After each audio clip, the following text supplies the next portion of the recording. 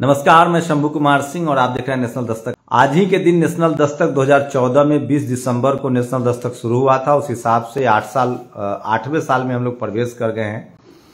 तो आप सबका शुक्रिया, जिन लोगों ने सोशल मीडिया पर भरोसा किया और मैं बहुत थैंकफुल हूँ कि आप लोगों ने मुझे भी देखा, लेकिन सबसे ज़्यादा क्रेडिट जाता है उन लोगों को जिन्होंने नेशनल दस्तक को बनाया, जिन्होंने नेशनल दस्तक की नींव रखी। और जिन्होंने नेशनल दस्तक के बारे में सोचा।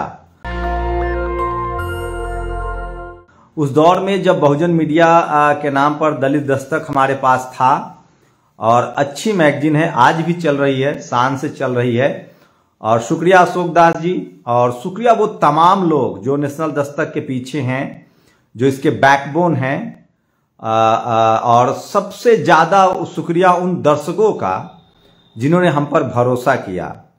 हम लगभग 9 मिलियन सब्सक्राइबर होने वाले हैं यूट्यूब पर। वो बड़ी बात नहीं है। एक मिलियन फेसबुक पर हैं, वो भी बड़ी बात नहीं है। लगभग पाँच लाख यूट्यूब पर हैं ट्विटर पर हैं, वो भी बड़ी बात नहीं है। बड़ी बात है आपका भरोसा। संख्या नहीं, आपका भरोसा। और सोचिए, मिनिमम मिनिमम महीने में कम से कम 100 मिलियन मतलब 10 करोड़ लोग नेशनल दस्तक को देखते हैं। और अगर हम यूट्यूब फेसबुक और ट्विटर सब मिला दे तो कम से कम पंद्रह करोड़ के आसपास लोग नेशनल दस्तक पर भरोसा करते हैं। और ये एक बड़ी बात है आ, सोशल मीडिया प्लेटफॉर्म के लिए। और बहुजन समाज हम लोग की दो तीन कोशिश है जो मैं बता दूँ आगे खबर भी मैं बताऊँगा। आज संत गाडगे की पुण्यतिथि है उस पर भी बात करूँगा। और आरएसएस ने किस तरह से जाति जनगणना के खिलाफ बोला है उस पर भी बात करूँगा। और किस तरह से मनुवादी मीडिया सपा और बसपा को लड़ा रही है और जो भी नेता इसके बारे में बोल रहे हैं, वो बिल्कुल गलत हैं और अखिलेश यादव को ध्यान देना चाहिए क्योंकि उनको सपा और बसपा बसपा, बीजेपी से आप नहीं लड़ सकते हैं। बीएसपी से नफरत करके बीएसपी ने बड़े ऐतिहासिक काम किए हैं। तो मनुवादी मीडिया लड़ा रही है और इसराइल फिलिस्तीन पर ही बात करूँगा, लेकिन थोड़ा सी, थोड़ी सी बात आपसे नेशनल दस्तक के बारे में करना चाहता हूँ। आ, मुझे नहीं पता था कि कभी हम लोग अपने प्लेटफॉर्म पर बात करेंगे। तो सबसे पहले तो जो पहले संपादक हैं अशोक दास जी जो दलित दस्तक के भी संपादक हैं उनका बहुत बहुत शुक्रिया। और वो शुरुआती टीम जो नेशनल दस्तक से जुड़ी चाहे वो मीना कोटवाल हो भवेन हो बबीता हो कई ऐसे नाम हैं श्वेता यादव अब नहीं रही। कई ऐसे नाम हैं जिनका शायद मैं नाम भी ना जानता हूँ तो वो तमाम लोग मैं तो बाद में आया हूँ नेशनल दस्तक से जुड़ा हूँ। लेकिन मेरी डेस्टिनी में नेशनल दस्तक है। 20 दिसंबर को नेशनल दस्तक का जन्मदिन है और आ, मेरा भी जो कागज़ी जन्मदिन है वो 20 दिसंबर है। वो सब सोशल मीडिया पर चूँकि पब्लिक है तो मैंने बोल दिया। बट ये इत्तेफाक है। जब नेशनल दस्तक की नींव पड़ी थी फिक्की में तो मैं किसी न्यूज़ चैनल में नौकरी कर रहा था और मैं एक श्रोता के तौर पे आया था। तो नेशनल दस्तक के फाउंडर संपादक अशोक दास रहे दलित दस्तक वो चला रहे थे वहीं से प्रेरणा लेकर नेशनल दस्तक नाम बना। लेकिन उन तमाम लोगों का शुक्रिया जो नेशनल दस्तक की, जिन्होंने कंसेप्ट को सोचा सोशल मीडिया को समझा। शुरुआती उन्होंने नुकसान उठाया और अपने घर की जमा पूंजी लगाई, अपने पैसे लगाएँ और वो तमाम लोग जो इससे जुड़े रहे, उन सब का बहुत बहुत से शुक्रिया। जो नेशनल दस्तक के संस्थापकों का, वहीं से सोशल मीडिया का रास्ता बना, बहुजन मीडिया का कंसेप्ट आया। और लोग अब जमकर हज़ारों लाखों, हज़ारों में कह रहा हूँ, लाखों लोग जो हैं, वो सोशल मीडिया के ज़रिए बहुजन समाज के आंदोलन को आगे बढ़ा रहे हैं। तो आप सबका बहुत बहुत शुक्रिया इस भरोसे के लिए, बहुत बहुत शुक्रिया। और इस भाईचारे के लिए, इस इस स्नेह के लिए, अपनापन के लिए और इस भरोसे के लिए बहुत बहुत शुक्रिया आप लोगों ने जो दिया है। और जब तक मैं इतना कह सकता हूँ कि जब तक हम लोग हैं तमाम परिस्थितियों में खबर हम आपको दिखाते रहेंगे। अब आपको ले चलते हैं जाति जनगणना को लेकर। सोचिए, आरएसएस लगातार दलित पिछड़े आदिवासियों के कंधे पर बंदूक रखकर चला रही है। आरएसएस के एक नेता ने कहा है कि जाति जनगणना से देश टूट जाएगा। सोचिए, आज भारत की चौथी इकोनॉमी है भारत। भारत दुनिया में इतना कभी सुपर पावर नहीं था, आरक्षण लागू है आज देश में। स्टेट बैंक हो LIC हो, रेलवे हो जहाँ जहाँ जो तमाम सरकारी कंपनियों की हालत कितनी अच्छी है, जहाँ जहाँ आरक्षण लागू है, और सोचिए किस तरह से आरएसएस जिनको आप आप जिनको दलित पिछड़ा आदिवासी आरएसएस जिनको बना रहा है मुख्यमंत्री, जिनको आप जाति से देख रहे हैं, वो दरअसल संघ के लोग हैं।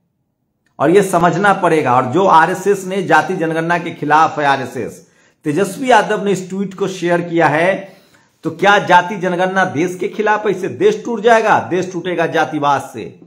देश टूटेगा मनुवाद से। देश टूटेगा सांप्रदायिकता से। भारत का संविधान सभी को सब बराबर का अधिकार देता है। तो आरएसएस बहुजनों के कंधे पर रखकर सोचिए आज धनकर साहब को लेकर किस, मैं जानता हूँ कि इस देश में दलित, पिछड़े आदिवासी किसानों का मज़ाक उड़ाया जाता रहा है, और ये सच है। मैं इसलिए धनकर साहब के साथ हूँ। कोई बनर्जी कोई चैटर्जी का क्यों नहीं मज़ाक उड़ाता है?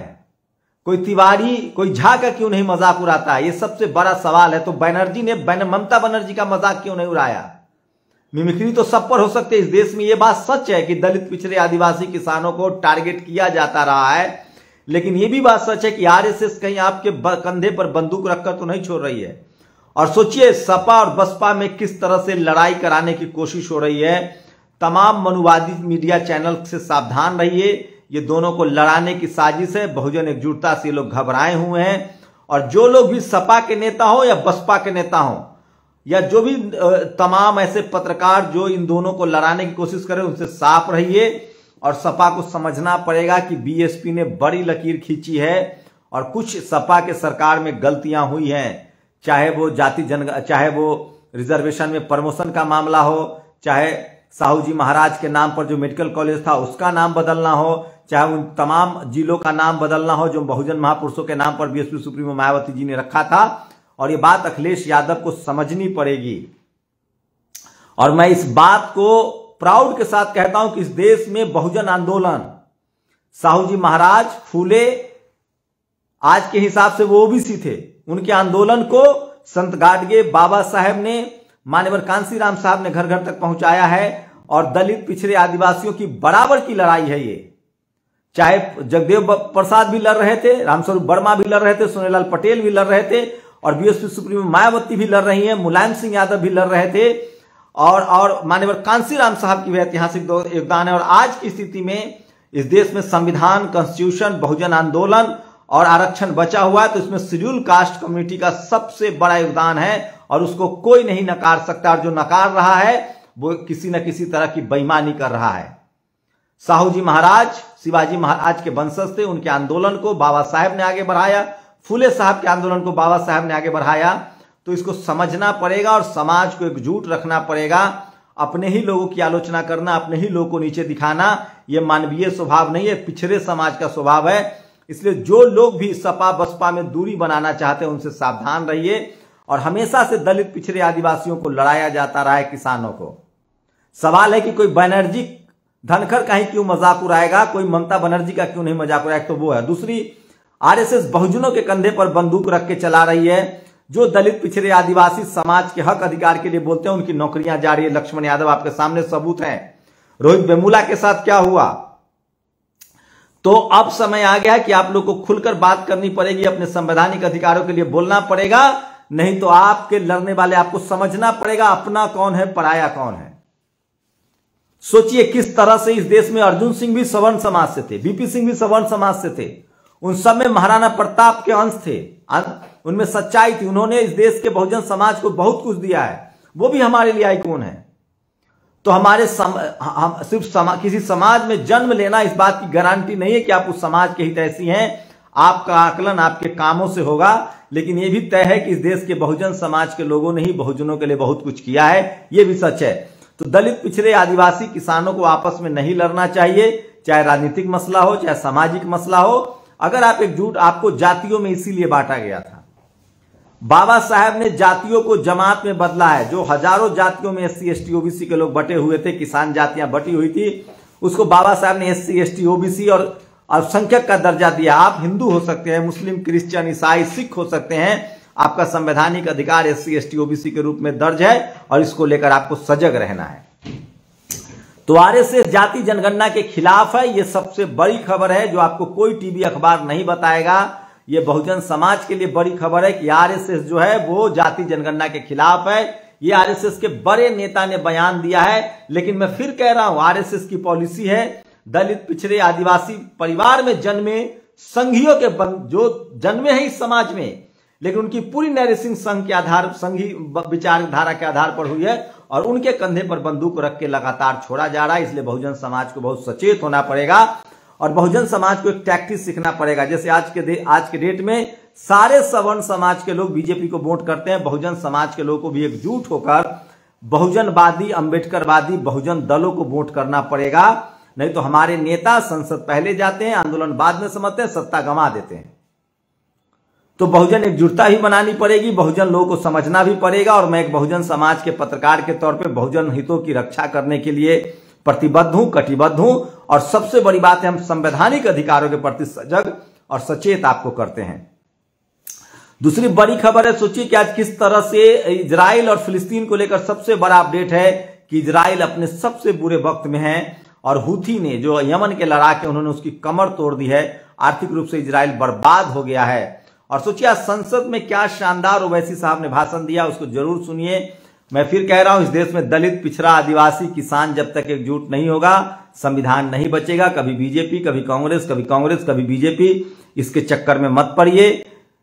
स्टेडियम में खेलने की सोचिए, स्टेडियम में मैच देखने से कुछ नहीं होगा, आपको खिलाड़ी इलेवन में पहुँचना पड़ेगा और बहुजन समाज को समझना पड़ेगा, जो बहुजन समाज के दल या बहुजन नेता आपस में एक दूसरे से लड़ते हैं या लड़ाते हैं, वो बहुजन समाज के हित ऐसी नहीं हो सकते हैं। आरएसएस लगातार बहुजन समाज के नेताओं के कंधे पर रखकर बंदूक चला रहा है और वो आरएसएस ने साफ़ कहा है कि हम जाति जनगणना के खिलाफ है। ये सबसे बड़ा अपडेट है। आप लोग अपनी प्रतिक्रिया ज़रूर दीजिए। शुक्रिया। नेशनल दस्तक की आपसे गुजारिश है कि अगर इसको बचाना चाहते हैं तो नेशनल दस्तक को सब्सक्राइब करने के लिए रेड कलर के सब्सक्राइब बटन को दबाएँ, फिर बेल आइकन की घंटी दबाएँ। नेशनल दस्तक को बचाने के लिए बहुत ज़रूरी है कि हर खबर को शेयर करें, लाइक करें, कमेंट ज़रूर करें।